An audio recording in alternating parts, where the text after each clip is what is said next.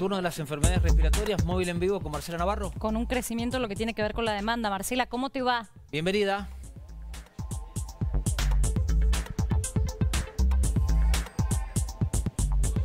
Bien, ¿qué tal? ¿Cómo les va? Sí, ha sido notable el crecimiento en los hospitales, en, los centros de salud también de la provincia de Mendoza de las enfermedades respiratorias. Estamos ahora en el Hospital Noti para consultar sobre ese tema y también sobre otros que tienen que ver con aquellos accidentes que involucran a los más pequeños en casa. Estamos pensando en el frío porque el frío trae aparejado varias cosas. Uno, una de las cosas, las enfermedades respiratorias, pero también el cuidado de los chicos en casa. Estamos con la doctora Natalia Sánchez Zamponi, que es la jefa de guardia del hospital. Muchísimas gracias por atenderlo. Hola, ¿qué tal? Hola, ¿qué tal? Buenos días a todos ahí en el estudio y a la audiencia. Preguntarle qué ha pasado con las enfermedades respiratorias en el Hospital Norte.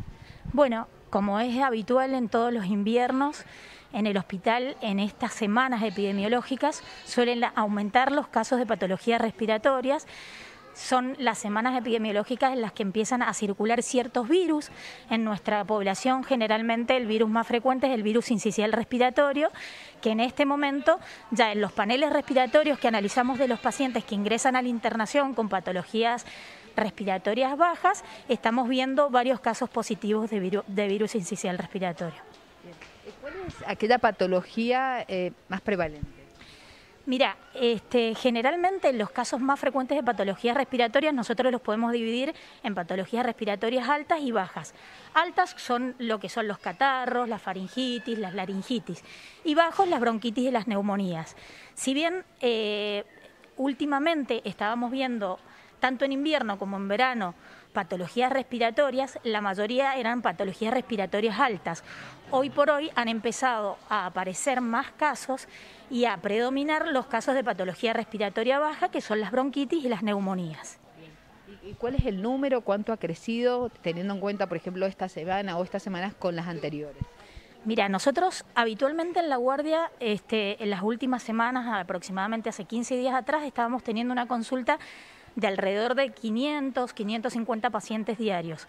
Esa consulta ha ido aumentando, hemos llegado a tener días de 750, 800 consultas diarias y este, el 60-70% de esas patologías que consultan en el hospital son patologías respiratorias.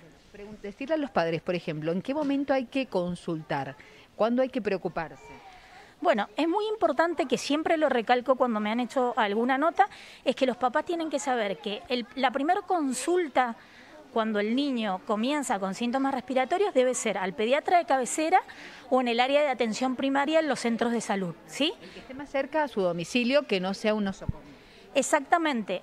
Tienen que tener en cuenta que el hospital en el que estamos nosotros es un hospital de alta complejidad referente de zona Cuyo en el cual nosotros deberíamos contener la patología de alta complejidad. Entonces, cuando los niños comienzan con síntomas respiratorios, que lo más frecuente es un catarro, ¿sí? y fiebre, generalmente tienen rinorrea, fiebre, lo, inicial es eh, que les recomendamos todos los pediatras es que comiencen a realizar vapor, antitérmicos en el caso de fiebre. Si ya ven que la fiebre es una fiebre alta y persistente o que dura más de 48 horas, ya ahí sí consultar con su pediatra de cabecera o en el centro de salud más cercano. ¿Y cuánto tiempo tengo que dejar pasar, cuántas horas hasta hacer esa consulta? Y entre 24 y 48 horas de acuerdo a estos síntomas de alarma que yo te decía. Si es fiebre de 39 grados y veo que cada 4 o 6 horas el niño tiene fiebre, entre las 24 y 48 horas hay que consultar, ¿sí? ¿Qué ha pasado con la neumonía, por ejemplo? ¿Qué es lo, qué es lo que le está más preocupando en esta época? No, en realidad las neumonías son las mismas que vemos todos los años, ¿sí? O sea, no es algo que nos preocupe, eh, digamos, como que nos llame la atención este año en particular con respecto a los anteriores. ¿sí? Este, las neumonías son infecciones respiratorias bajas que pueden ser cuadros virales o bacterianos. Nosotros evaluamos al paciente, realizamos estudios complementarios tanto de laboratorio como de radiografías y en base a eso sabemos si las neumonías son cuadros virales o bacterianos. Si son virales, generalmente, o sea, los cuadros virales no se medican con antibióticos, si son bacterianos sí, y de acuerdo al estado clínico del paciente, es si esa neumonía requiere internación o puede ser manejada ambulatoriamente en su domicilio. Aprovechamos la oportunidad también porque sabemos que hace mucho frío, los chicos están mucho en casa. eh, cuáles son los accidentes domésticos más frecuentes, qué le decimos a los papás eh, para prevenir situaciones que puedan ocurrir si están mucho en casa. Bien, antes de los accidentes laborales em, eh, domésticos más frecuentes, lo que me gustaría hacer hincapié es con el tema de la intoxicación de monóxido de carbono, que estamos teniendo casos, estamos recibiendo casos en la guardia, que los papás... ¿Han tenido muchos, han tenido cuando hoy, en estos días? Ayer, justo hemos, anoche han consultado, por ejemplo, una familia con intoxicación de monóxido de carbono. Eso es muy importante porque los papás, como hace frío, suelen tener todo cerrado, los ambientes cerrados, calefaccionados y lo, lo fundamental es que tengan los los ambientes ventilados. Sabemos que hace frío, pero más allá del frío hay que tenerlos ventilados para que haya recambio del oxígeno, ¿sí? Y este, no se lleguen a intoxicar, ¿sí? Eso es re importante. Y por otro lado, dentro de los accidentes domésticos sabemos que los niños, bueno, los accidentes más frecuentes son las quemaduras, ¿sí? Las quemaduras por líquidos. Entonces, por ejemplo, si la mamá está cocinando, está con una olla con agua o está con eh, este, hirviendo agua en una pava.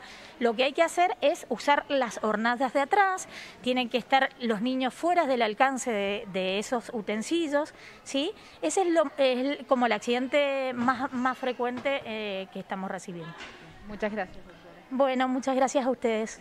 Bueno, enseguida eh, vamos a seguir hablando de esto, de prevención por el tema de monóxido de carbono, que es tan importante y sobre todo porque vienen varios días de frío. Bueno, nos quedamos entonces con estos consejos de la doctora. También acotarles otro tema que salió hace algunos días el fin de semana porque un nene de 5 años fue mordido por un perro en la zona del cuello.